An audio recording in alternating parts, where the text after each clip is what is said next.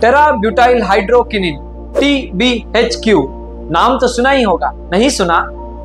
इसे हम हर रोज अपने खाने में खा रहे हैं। हाल के दिनों में हम यंग इंडियंस में हार्ट अटैक और डायबिटीज़ की बीमारी तेज़ी से बढ़ रही है। इसके पीछे का मुख्य कारण क्या है?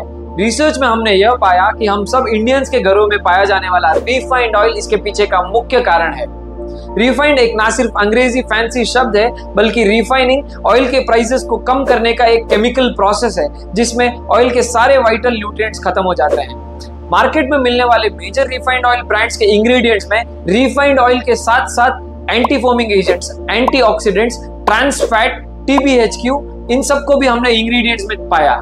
ना सिर्फ़ हम रिफाइंड ऑयल खरीद रहे हैं, बल्कि इनके साथ साथ इन घातक केमिकल्स के साथ आने वाली इन घातक बीमारियों को अपने घर तक ला रहे हैं।